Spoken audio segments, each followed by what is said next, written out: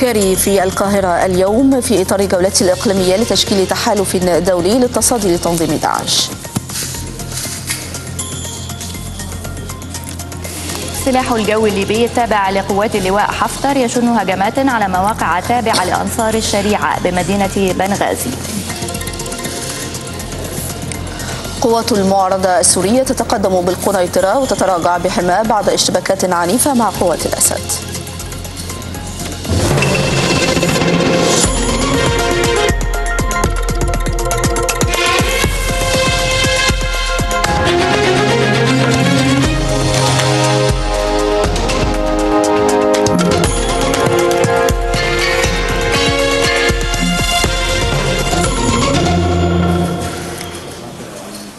الثانية عشر ظهرا في القاهرة التاسعة في جرينتش موعد بانوراما إخبارية جديدة تأتيكم من النيل. بدايتها مع أمل نعمل تفضل. أشكرك إيمان. أهلا بكم. وهذه هي تفاصيل الأنباء. وصل وزير الخارجية الأمريكي جون كيري إلى القاهرة اليوم قادما من تركيا في زيارة تستغرق يومين يلتقي خلالها مع عدد من المسؤولين لبحث تطورات الأوضاع بالمنطقة ولمناقشة القضايا الثنائية والإقليمية ذات الاهتمام المشترك. تأتي زيارة كيري إلى مصر ضمن جولته الشرق أوسطية في إطار جهود بلاده لتشكيل تحالف دولي لمحاربة تنظيم داعش. ومن المقرر أن يلتقي وزير الخارجية سامح شكري نظيره الأمريكي جون كيري.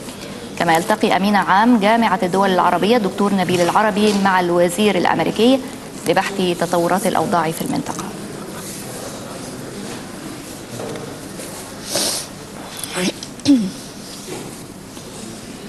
وللمزيد من المتابعة ينضم إلينا عبر الهاتف الأستاذ دكتور سعيد اللويندي خبير العلاقات الدولية بالأهرام. دكتور سعيد بعد التحية كيف تتابع جولة كاري الشرق أوسطية في إطار جهود أمريكا لتشكيل تحالف دولي لمحاربة داعش؟ هي بالفعل هذه الزيارة مهمة جدا باعتبار أن أمريكا تبدي اهتماما بالمنطقة لكنها تأتي في إطار بعد قمة جدة التي حاول فيها كيري إقناع دول الخليج بالذات لعمل أو دخول ضمن التحالف الدولي ضد داعش. على أي حال هو يريد بشكل أو بآخر توريط مصر وأنا أعني كلمة توريط ولكن مصر ترفض بشكل أو بآخر أن تتورط أو تورط جيشها في محاربة داعش، نحن ضد العنف وضد داعش وضد الإرهاب وضد كل ما يتم باسم الإسلام والإسلام منه بريء تماما. لكنهم يودون بشكل أو بآخر ان يحققوا معادلة شهيرة جدا المعروفة عن أمريكا منذ الحرب العالميه الثانية وهي أن أمريكا تريد دولا تحارب بالنيابة عنها، نحن نرفض أن نحارب بالنيابة عن هذا أو ذاك. ما دامت داعش لن تجرؤ وهذا وأكرر ما قاله مسؤولون كبار في الدولة المصرية أنها لن تجرؤ الدخول ضد ضمن الحدود المصرية. على أي حال نحن نرفض وهناك من يقول أن مصر وربما دكتور سعيد هذا ما أكد عليه بشكل كبير وزير الخارجية المصري سامح شكري عندما قال أنه لا مجال أن تحارب مصر داعش أو أن تحشد مواردها لمحاربة داعش. وفي المقابل هناك دول رفضت أن تقدم يد العون والمساعدة لمصر في مواجهتها للتنظيمات الإرهابية المختلفة. هذا صحيح بالفعل لكن كيري في الواقع يريد إقناع مصر بشكل أو بآخر واقناع أمين عام الجماعه العربية ولا كبار المسؤولين المصريين لكن مصر ترفض رفضا قاطعا. لن يكون هناك دم عربي وإسلامي مسال بسبب قذيفة مصرية على الإطلاق. فقط أمريكا مولعه بان يكون هناك دول تحارب بالنيابة عنها وتظل هي بعيدة، لكن هذا لن يحدث لأن داعش صناعة أمريكية كما كانت القاعدة صناعة أمريكية ونحن نرفض أن نكون ترس في الآلة الكبيرة التي تسمى الاستعمار الأمريكي. أشكرك جزيل الشكر. دكتور سعيد اللويندي خبير العلاقات الدولية بالأهرام شكرا جزيلا. أعلن البيت الأبيض أن الولايات المتحدة تخوض حربا ضد تنظيم داعش حاسما بذلك الجدل حول توصيف الاستراتيجية التي أعلنها الرئيس باراك أوباما للقضاء على التنظيم المتطرف. وقال المتحدث باسم الرئاسة الأمريكية خلال مؤتمر صحفي إن الولايات المتحدة الأمريكية في حرب ضد تنظيم الدولة الإسلامية تماما كما هي في حرب ضد تنظيم القاعدة وحلفائها في العالم. وأوضح البيت الأبيض مجددا أن استراتيجية أوباما تعتمد على توسيع نطاق الضربات الجوية في العراق ضد تنظيم داعش وكذلك درس تحرك جديد ضد التنظيم في سوريا. تعهد الرئيس الفرنسي فرانسوا أولوند بزيادة المساعدات العسكرية الفرنسية للعراق وسط تكثيف الجهود الدولية لمحاربة تنظيم داعش. جاء ذلك خلال مؤتمر صحفي مشترك عقد بين أولاند ورئيس إقليم كردستان العراق مسعود أولاند لأربيل عاصمة الإقليم حيث أعلن استعداد بلاده لاستخدام مقاتلاتها في العراق إذا اقتضت الضرورة إلى ذلك من أجل القضاء على تنظيم داعش. وقال أولاند إن بلاده ستواصل بالتنسيق مع شركائها الأوروبيين تقديم المساعدات اللاجئين عن طريق إقامة جسر لنقل المساعدات الإنسانية. أعلنت القوات الحكومية السورية سيطرتها على بلدة حلفاية شمال غربي حماة. في وقت سيطرت فيه قوات المعارضة المسلحة على أحياء في مدينة القنيطرة جنوبي البلاد. يأتي هذا بينما اندلعت اشتباكات عنيفة بين مقاتلي المعارضة والقوات الحكومية في ريف درعا في غضون ذلك أفاد الائتلاف السوري المعارض بمقتل 70 شخصا وإصابة نحو 200 آخرين في سلسلة من الغارات الجوية على بلدة دوما في ريف دمشق على مدار الأيام الماضية. أعلن المتحدث باسم الجيش الليبي محمد حجازي أن قاعدة بنين الجوية ومنطقة جسر سيدي فرج في مدينة بنغازي أصبحتا تحت سيطرة قوات الجيش الليبية وذلك عقب قصف الطيران الحربي الليبي لعدة مواقع تابعة لجماعة أنصار الشريعة. من جانبه دعا الممثل الخاص للأمم المتحدة في ليبيا اليوم في ختام زيارته إلى ليبيا دعا إلى وقف فوري وشامل لإطلاق النار مشيرا إلى أن الحوار هو الوسيلة الوحيدة لإنهاء الأزمة في ليبيا. خطوات نحو الديمقراطية رغم الفوضى التي تجتاح البلاد مع استمرار القتال وانعدام سلطة القانون التي دفعت معظم الدول الغربية والأمم المتحدة لإغلاق بعثتها الدبلوماسية في ليبيا. لجنة صياغة مشروع الدستور الليبي تأمل أن تجري استفتاء على دستور جديد في ديسمبر القادم دون أن يعوقها الاقتتال على الأرض الذي أجبر البرلمان المنتخب على الانعقاد في بلدة البيضاء الشرقية على بعد مئات الكيلومترات من العاصمة.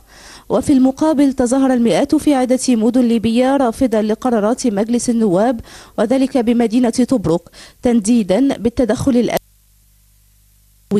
الذي استهدف العاصمة طرابلس. ورغم عجز الحكومة المركزية عن السيطرة على الميليشيات المسلحة يؤكد رئيس الوزراء عبد الله الثاني أن الوضع في ليبيا معقد لكنه لن يستمر مؤكدا أن الجيش الليبي سيستعيد السيطرة على طرابلس التي اعتبرها مختطفة من قبل مسلحي فجر ليبيا. الوضع في طرابلس انعكس على مدينة بني غازي والتي باتت تحت سيطرة جماعة أنصار الشريعة بعد أن هاجم مسلحون مقر الدفاع المدني إلا أن الجيش الليبي بمساعدة قوات القبائل وألوية رشفان الليبية أعلن استعادة السيطرة على قاعدة بنين الجوية ومنطقة جسر سيدي فرج في مدينة بني غازي بعد اشتباكات استمرت أسبوعين مع قوات عمليات فجر ليبيا أسفرت عن مقتل وإصابة العديد من الطرفين. وتزامنا مع الاشتباكات على الأرض وجهت عمليات ثوار ليبيا ما وصفته بالنداء الأخير لسكان مدينة بني غازي لإخلاء منازلهم تمهيدا لتنفيذ عمليات عسكرية واسعة النطاق لاستعادة السيطرة على مدينة بني غازي. وذلك غداة قصف الطيران الحربي الليبي لعدة مواقع تابعة لجماعة أنصار الشريعة في منطقة قنقودة ببني غازي كانت تستخدم كمخازن للأسلحة والذخائر ومع مساعي الأمم المتحدة لتقليص الخلافات بين الفصائل المتحاربة إلا أنها أكدت على دعم البرلمان الجديد المنبثق عن انتخابات يونيو الماضي كممثل شرعي ووحيد للشعب الليبي. Let me say that uh, لابد من التوصل لاتفاق شامل لوقف إطلاق النار فالجميع موافق على أن وجود حكومتين وبرلمانين أمر ليس ممكن ونسعى لأن يكون لدينا برلمان شرعي يعترف به الجميع. فالحل الوحيد للخروج من الأزمة هو الحوار. وفيما يسود الغموض الشديد الأوضاع السياسية مع برلمانيين وحكومتين متنافستين يأمل الليبيون والقوى العظمى أن يساعد الدستور على رأب بعض الصدع الذي يقسم البلاد على أسس قبلية بعد أكثر من ثلاثة أعوام على الإطاحة بمعمر القذافي. تفقد وزير الداخلية لواء محمد إبراهيم الأوضاع الأمنية بمحافظة الإسكندرية في جولة مفاجئة. شملت الدوريات والأكمنة الأمنية الثابتة والمتحركة بطريق القاهرة الإسكندرية الصحراوية. وذلك على مدى جاهزية القوات واستعدادها للتعامل الفوري مع الخارجين عن القانون. ومن المقرر أن يجتمع إبراهيم مع عدد من قيادات وضباط مديرية أمن الإسكندرية لاستعراض التحديات التي تواجه الشرطة حاليا. والوقوف على أولويات العمل بالوزارة بالمرحلة المقبلة.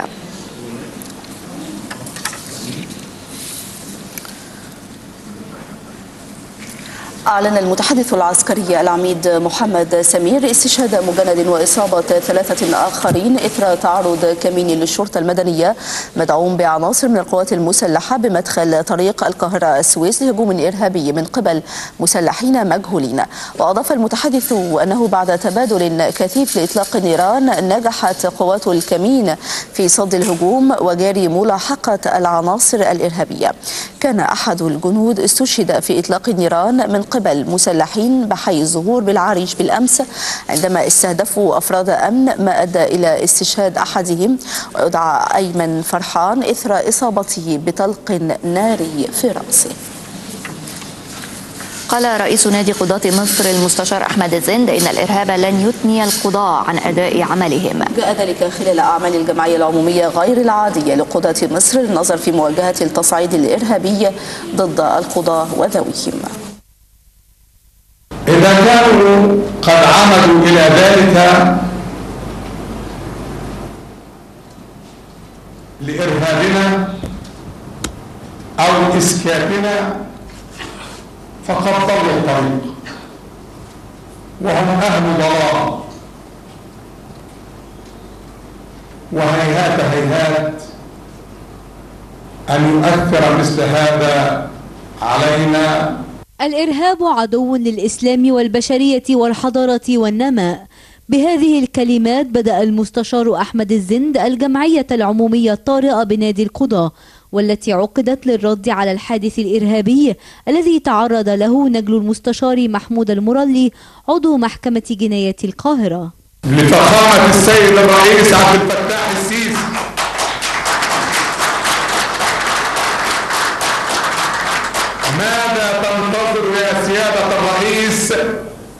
لكي تسقط عن هؤلاء الخونة الجنسية المصرية. كانوا هم بيحاربونا بسلاح. إحنا برضو هن- هنقاوم بسلاح أقوى. هو القلم الرصاص اللي بيكتب الحكم بما يرضي الله سبحانه وتعالى. دي رسالة إحنا بنقولها النهارده إن إحنا مكملين بنفس ال- الرسالة. إحنا بن- بنؤازر زميلنا المستشار محمود المرلي في الحادث الأليم الذي تعرض له نجم. وبنضع استراتيجية آه، بيننا وبين الشرطة والقوات المسلحة والقضاء لوضع استراتيجية أمنية. تحقق الأمن والأمان مش للقضاء بس لكن لشعب مصر كله. القضاة أكدوا أن الحادث الأخير لن يثنيهم عن أداء رسالتهم. ما نملكه هو الإنجاز أن ننجز آه، هذه القضايا المنظورة أمام الدوائر الجنائية حتى آه، آه، تصدر الأحكام الرادعة وفقا للقانون وصحيح القانون. وبما يمليه عليه ضمائر القضاة لتكون الأحكام الرادعة آه، ردعا وجزاء لما يقترفه لما لما تقترفه هذه الجماعة الإرهابية. القاضي مش بيخاف والقاضي بيخافش إلا من ربنا بس. لا بيهمه إرهاب ولا بيهمه أي حاجة وإحنا مستمرين في عملنا وهنشتغل وهنحكم بما يرضي الله طول عمرنا كده. المستشار أحمد الزند طالب بإقالة موظفي المحاكم والنيابات الذين تم تعيينهم في عهد الإخوان كما طالب بتخصيص حراسة دائمة للقضاة خاصة أولئك الذين ينظرون قضايا الإرهاب. رصاصات الغدر لم تكن موجهة إلى ابن المستشار ولكنها موجهة إلى منصة القضاء. ولكن قضاة مصر يقولون واهم ممن يتصور أنه سوف يرهب القضاء الشامخة. ولن يفلت من العقاب أي مجرم يهدد أمن وسلامة الوطن. من داخل نادي القضاة بسمة الشاعر النيل تستأنف محكمة جنايات القاهرة المنعقدة بمعهد أمناء الشرطة اليوم جلسة محاكمة المستشار محمود الخضيري رئيس اللجنة التشريعية بمجلس الشعب المنحل والقيادي الإخواني محمد البلتاجي وصفوة حجازي وآخرين من قيادات الإخوان. وذلك بتهمة احتجاز محامي وتعذيبه وصعقه بالكهرباء وهتك عرضه داخل مقر إحدى شركات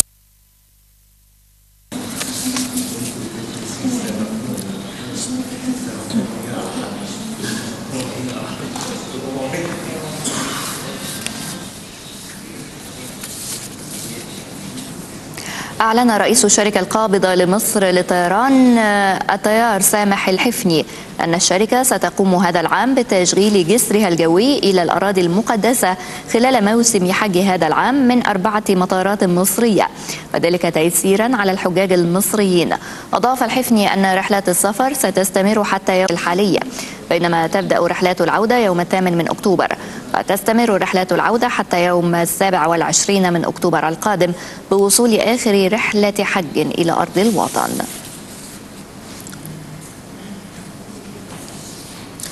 بدأ ماراثون شراء الأدوات المدرسية مع نهاية الإجازة الصيفية وبداية العام الدراسي الجديد حيث يفاجئ الأبناء أبائهم كل عام بقوائم الأدوات المدرسية والتي تتعدد أنواعها وأسعارها. وعادة ما تبدأ أولى جولات العائلة بمكتبات الفجالة التي يترددون عليها لشراء المستلزمات الدراسية بهدف الاستفادة من فرق الأسعار الناتج عن المنافسة بين مختلف المكتبات للبيع بأسعار معتدلة. مع اقتراب بداية العام الدراسي تستعد الأسر المصرية لشراء الأدوات المدرسية بمختلف أنواعها. فعادة ما تذهب الأسر المصرية إلى أسواق الجملة أملا في توفير بعض الجنيهات. لكن هل أسعار الأدوات المدرسية اختلفت عن العام السابق عند تجار الجملة؟ والأسعار عادي. هي هي زي كل سنة ويمكن رفعت بس 5% اللي هو علشان بس اللي هي الضرايب والكلام من ده بس. السنة دي أعلى من السنة اللي فاتت بكتير. فإحنا يعني إحنا يعني حوالي بتاع حوالي 30 40% بالنسبة للأدوات وبالنسبة للكشكيل والكراريس وبالنسبة للكشكيل والكراريس حضرتك عشان خاطر ال- الحاجات اللي زادت اللي هي ال- البنزين والسولار والحاجات دي بتزيد عن عن المنتجات الورقية. زودت سولار وزودت بنزين. طالما الدخل بتاع الموظف ثابت بيتأثر بيه مشترياته في الأماكن التانية. أدوات مكتبية. إحنا حسينا بيها لأن القطاع بتاع السولار والكلام ده كله زاد. بدل ما كان بيجي ياخد ب 100 جنيه لابنه بيبدا بياخد ب 50 لكن العام الحالي جاء ومعه بعض ارتفاع الأسعار في وجهة نظر البعض عن سابقي وبعضهم جاءت آراؤهم عن أسعار الأدوات المدرسية في متناول الجميع نظرا لاختلاف الخامات. كل حاجة غالية كل حاجة والسنة دي كل حاجة غالية. متوسطة زي السنة اللي فاتت ما زادتش كتير وكل حاجة متوفرة وزي الفل. ارتفاع البنزين وارتفاع المواصلات وبناء على ذلك بيرتفع أسعار النقل. ف لازم تلتقي السعر آه، مرتفع. يعني انت لما تيجي تبص النهارده الجمعة شهر تسعة تلتقي الشارع فاضي جدا ما فيش آه، مش هو ده الموسم مش هي دي الفجالة يعني يعني ارق نظرك كده على الشارع كده ما فيش فجالة وما فيش موسم. السوق هابط جدا. ويأتي العام الدراسي كل عام وتبدأ الأسرة المصرية في شد الرحال إلى الأسواق لتجهيز الأبناء من كل ما يلزم من أدوات مكتبية وكراسات وأقلام آملين في مستقبل أفضل لأبنائهم. رمضان المطعاني النيل. أكد مصدر دبلوماسي في الأمم المتحدة تعثر المفاوضات بين السلطات اليمنية والحوثيين حيث لم يتمكن الطرفان من التوصل لاتفاق نهائي بشأن القضايا المطروحة لحل الأزمة الراهنة واتفق الطرفان على عقد جولة مباحثات جديدة برعاية مباشرة من جانب جمال بن عمر مساعد الأمين العام للأمم المتحدة ومبعوثه الخاص إلى اليمن في غضون يومين. كان فريقا التفاوض قد فشلا في التوصل إلى أي اتفاق بشأن تسمية رئيس الحكومة الجديد وتوزيع الحقائب الوزارية بالإضافة إلى الإعلان عن خفض جديد لأسعار الوقود.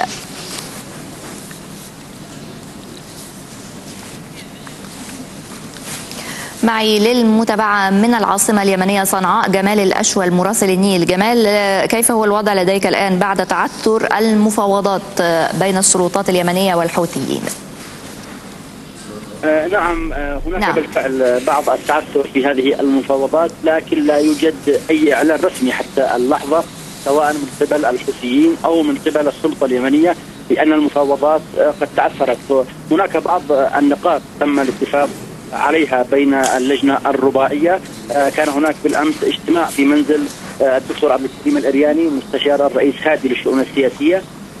واستمر حتى وقت متأخر من الليل بحضور مندوب السيد جمال بن عمر. لكن هناك بعض الخلافات لم يتم الاتفاق عليها لكن لم يعلن رسميا انتهاء المفاوضات. هناك جولة جديدة ربما تبدأ مساء اليوم في المفاوضات برعاية جمال بن عمر.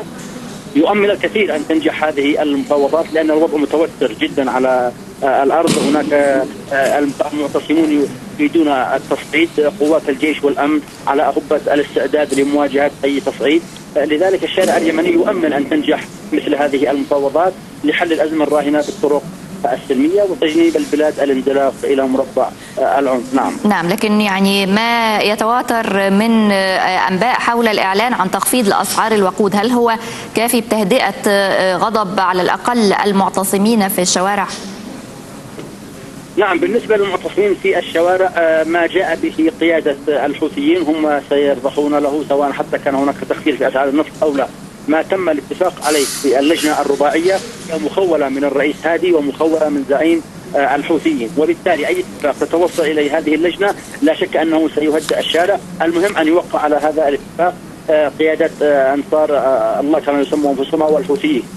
فإذا تم التوقيع فإن الشارع سيهدأ. لكن إذا لم يتم التوقيع على هذا الاتفاق بالتأكيد الأمور آه، إلى تصعيد واضح خلال الأيام آه، القادمة. نعم. أشكرك جزيلا من صنعاء جمال الأشول. نشرتنا متواصلة معكم ونتابع فيها بعد الفاصل. كييف تتهم موسكو بمحاولة الاستحواذ على أراضيها لإحياء الاتحاد السوفيتي السابق.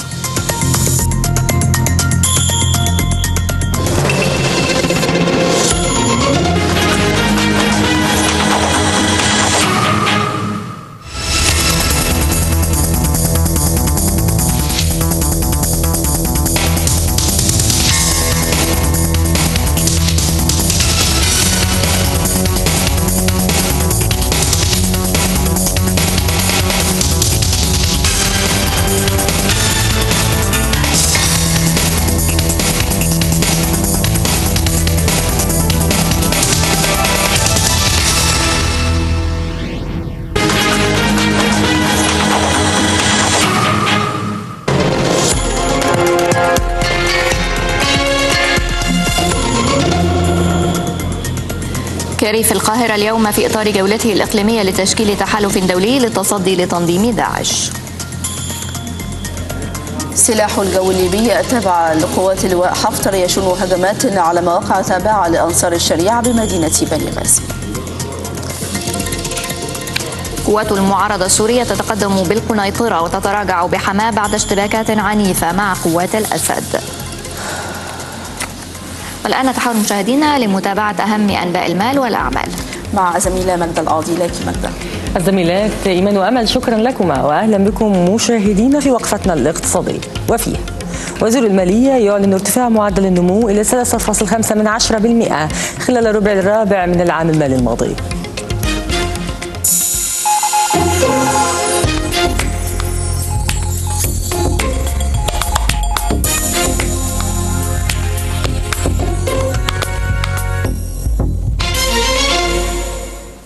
قال وزير المالية هاني قادري إن مصر تجاوزت بالفعل المرحلة العصيبة التي مرت بالاقتصاد القومي وذلك بعد ارتفاع معدل النمو إلى 3.5% خلال الربع الرابع من العام المالي الماضي مقابل 1% فقط في الربع الأول. وأضاف قادري أن التحسن في الوضع الاقتصادي الحقيقي تعكسه أيضا مؤشرات سوق المال التي ارتفعت التي ارتفعت بنسبة 40% في عام واحد حيث قفز رأس المال السوقي للأوراق المالية المقيدة بالبورصة من 357 مليار جنيه في يوليو من عام 2013 إلى نحو 524 مليار جنيه في أغسطس الماضي. وأشار الوزير إلى أن اقتصاد مصر ما زال يعاني من فجوة تمويلية تتراوح ما بين 10 إلى 11 مليار دولار كي يزيد من معدلات النمو الخاصة به إلى 5% أو 6%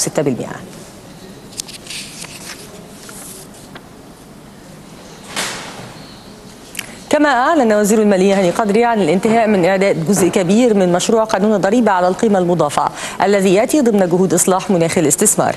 وقال قدري إن أهم ملامح القانون الجديد السماح برد الضريبة على السلع الرأسمالية نقدا ومرة واحدة فور تشغيل خطوط الإنتاج بدلا من استردادها خصما من الضريبة المستحقة على المبيعات محليا. وأضاف يتضمن أيضا وضع النظام الخاص لمعاملة المنشآت الصغيرة والمتوسطة ضريبيا ويكون بصورة بسيطة للغاية. يتم فيه دمج ضريبة المبيعات والدخل في آلية واحدة وبأقل عبء إداري على المنشأة أو الإدارة الضريبية. أعلنت وزارة القوى العاملة والهجرة عن توفير 82871 فرصة عمل جديدة مطروحة بالوزارة للشباب للعمل في 466 منشأة بالقطاع الخاص. وقالت وزيرة القوى العاملة والهجرة نهد عشري إن فرص العمل المتوفرة في 21 محافظة للعمل في 26 مهنة لجميع المؤهلات وأيضا بدون مؤهلات. يلتقي وزير التخطيط والمتابعة والإصلاح الإداري الدكتور أشرف العربي اليوم مع إنياس شوما المدير الإقليمي لمنظمة العمل الدولية بإفريقيا. ويبحث الجانبان خلال اللقاء سياسات دعم التشغيل في مصر وإمكانية دعم المنظمة خطط مصر لتعزيز قدرات منظومة العمل بها. يلتقي رئيس مجلس الوزراء المهندس إبراهيم محلب. يلقي رئيس مجلس الوزراء إبراهيم محلب كلمة رئيس الجمهورية الرئيس عبد الفتاح السيسي خلال افتتاح أعمال الدورة الحادية والأربعين لمؤتمر العمل العربي غدا الأحد. ويشارك في أعمال الدورة وفود يمثلون 21 دولة عربية و22 وفدا. يمثلون منظمات عربية ودولية لمناقشة قضايا العمل والعمال في الوطن العربي.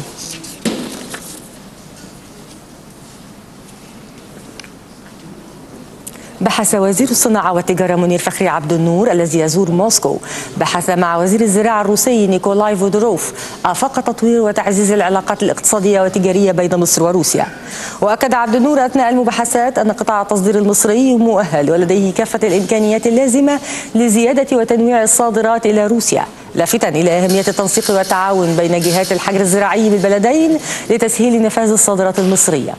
من جانبه أكد وزير الزراعة الروسي ترحيب بلاده الكامل بالمنتجات المصرية حيث يتمتع المنتج المصري بسمعة طيبة داخل السوق الروسية هددت روسيا بالرد على العقوبات الأمريكية والأوروبية التي طالت مؤسسات اقتصادية عدة في روسيا. من جانبه اتهم الرئيس الروسي فلاديمير بوتين الولايات المتحدة باستخدام أزمة أوكرانيا الذريعه لإنعاش حلف شمال الأطلسي كأداة سياسية معتبر أن العقوبات غير فاعلة. ما زالت حرب العقوبات المتبادلة مشتعلة بين الدب الروسي من جهة والاتحاد الأوروبي والولايات المتحدة من جهة أخرى وذلك على خلفية الأزمة الأوكرانية وما يعتبره الغرب تدخلا من قبل موسكو لدعم الحركات الانفصالية المسلحة. آخر هذه العقوبات جاء من الولايات المتحدة التي أوقفت أي تمويلات أمريكية تزيد مدتها عن 90 يوما عن أكبر مصرف في روسيا وهو بنك سبير بنك وشركة الصناعات التكنولوجية الحكومية روستيخ والفرع النفطي لعملاق الغاز غازبروم غازبروم نفط الرئيس الروسي بوتين وبلاده موضوعان تحت ضغط الآن ونحن نرى هذا بوضوح في تصرفاتهم وردود فعلهم. وعلى هذا فإنهم يرون أن التحرك الجديد هو بمثابة العقوبات. أما الاتحاد الأوروبي فقد أغلق أسواقه المالية أمام روسيا ومنع أي عملية تصدير إلى هذا البلد. تشمل تكنولوجيا حساسة في مجال الطاقة أو مواد مخصصة للاستخدام المدني ولكن يمكن استخدامها أيضا لأهداف عسكرية.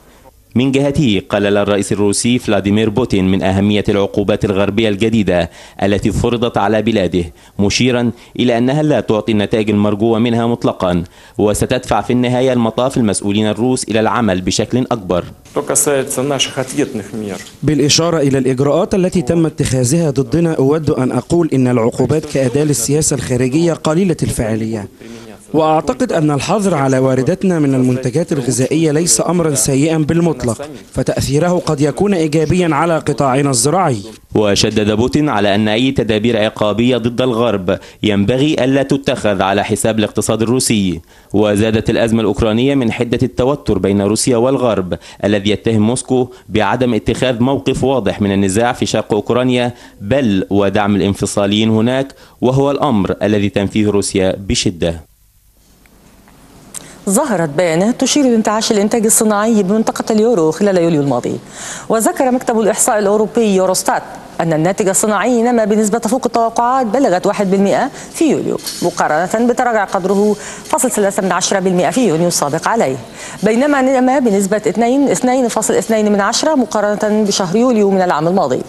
كما ظهرت المؤشرات تحسن سوق العمل بمنطقة اليورو التي تضم 18 دولة مع ارتفاع معدلات التوظيف بنسبة فاصل 2 من 10% خلال الربع الثاني من العام المقبل بنسبة 1 من 10% خلال الربع المقبل.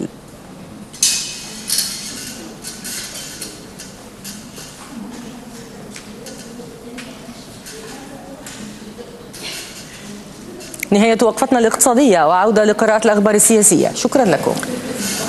شكرا لك مجدة. اتهم رئيس الوزراء الأوكراني رئيس روسيا فلاديمير بوتين بسعيه لتدمير أوكرانيا كدولة مستقلة في إطار محاولته لإعادة الاتحاد السوفيتي السابق. وقال ياتسونوك خلال مؤتمر صحفي في كييف إن الهدنة المبرمة بين كييف والمتمردين الموالين لروسيا هي خطوة أولى من أجل وقف ما أسماه بالمجزرة التي تشهدها مناطق أوكرانيا على حد وصفه. كما دعا ياتسونوك المسؤولين الأوروبيين والأمريكيين إلى ضمان استقلالية وسيادة بلاده. على الرغم من سريان اتفاق وقف إطلاق النار بين الحكومة الأوكرانية والانفصاليين الموالين لروسيا في شرق البلاد إلا أن مواجهات عسكرية بين الجانبين ما زالت تدور بشكل شبه يومي ولكنها أقل عددا وعنفا. نائب رئيس وزراء جمهورية دونيتسك الشعبية المعلنة من جانب واحد. برر ذلك بأن الوضع الحالي في شرق أوكرانيا لا يمكن وصفه بالهدنة ولكنه مجرد وقف إطلاق نار مؤقت ولذلك لا تزال تشهد المنطقة سقوط ضحايا من الجانبين على حد سواء وإن كانت أقل بكثير من ذي قبل.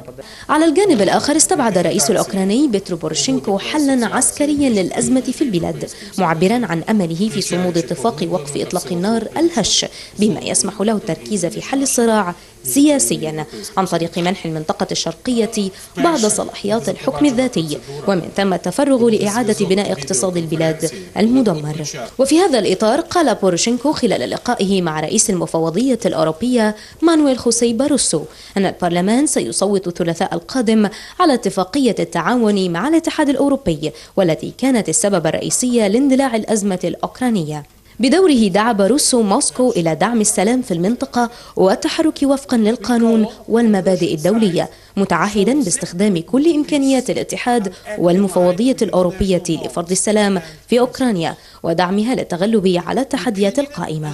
تزامنا توعدت موسكو بإجراءات انتقامية سريعة على العقوبات الاقتصادية الأمريكية ووصفتها بأنها خطوة عدائية جديدة تتماشى مع سياسة المواجهة التي تنتهجها واشنطن على حد وصف الخارجية الروسية.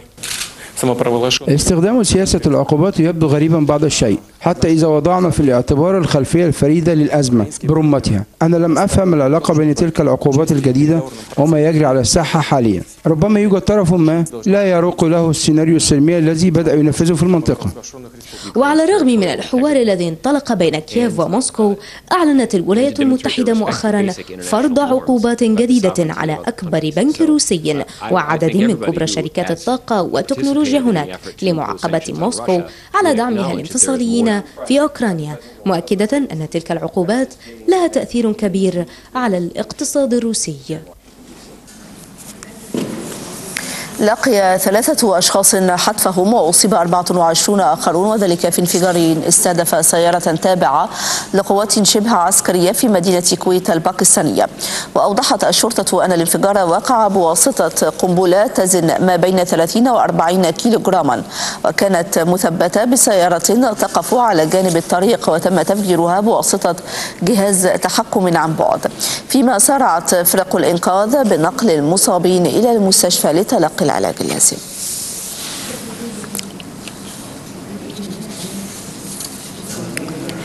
يبحث الرئيس الأمريكي باراك أوباما الأسبوع القادم انتشار وباء إيبولا مع أكبر المسؤولين الصحيين الأمريكيين بهدف رسم ملامح استراتيجية واشنطن لمواجهة المرض.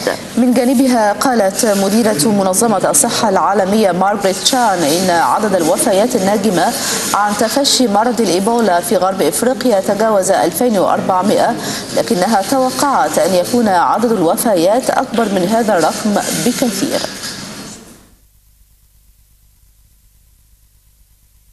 مثل انتشار النار في الهشيم. يتفشى فيروس إيبولا الفتاك في منطقة غرب إفريقيا وأوقع مئات الضحايا في غضون أسابيع قليلة. مديرة منظمة الصحة العالمية مارغريت شان أكدت أن عدد الوفيات الناجمة عن تفشي مرض الإيبولا في غرب إفريقيا تجاوز ال 2400 شخص. لكنها توقعت أن يكون عدد الوفيات أكبر من هذا الرقم بكثير. في الثاني عشر من سبتمبر الجاري سجلنا نحو 4800 حالة إصابة وأكثر من 2400 وفاة. وفي الدول الثلاث الأكثر تضررا يتزايد هذا الرقم بسرعة تفوق قدرات استجابة المجتمع الدولي له. وأوضحت شان أن عدد الإصابات بالفيروس القاتل يتزايد بسرعة تفوق قدرة السلطات المحلية على احتواء المرض ودعت لمساندة دولية لإفادة طواقم رعاية صحية ومستلزمات طبية ومساعدات لغينيا وليبيريا وسيراليون وهي أكثر الدول تأثرا بالمرض. ولا تزال دول غرب إفريقيا تصارع وباء إيبولا الذي تحاول إبطاء سرعة تفشيه مع تنامي الشعور بالعجز في ليبيريا حيال مكافحة المرض. في حين أعلنت سيراليون أنها تتوقع تشخيص عشرات الإصابات الجديدة وقالت إنها ستفرض مختلف أنحاء البلاد بعد تسعة أيام للكشف عن المرضى الذين لم يتوجهوا إلى المستشفيات بعد. وتم التعرف على فيروس إيبولا لأول مرة عام 1976 وينتقل فقط بالاتصال المباشر مع إفرازات أي شخص مصاب أو أغراض ملوثة مثل الحقن ويؤدي إلى ارتفاع في درجة الحرارة وتقيؤ وإسهال وأحيانا إلى نزيف داخلي ويؤدي في نصف الحالات إلى وفاة المصاب. وتقدر الأمم المتحدة الحاجة إلى 600 مليون دولار على الفور لمواجهة الوباء الذي تأخر المجتمع الدولي في التعاطي معه بجدية حيث لا يوجد أي لقاح للمرض.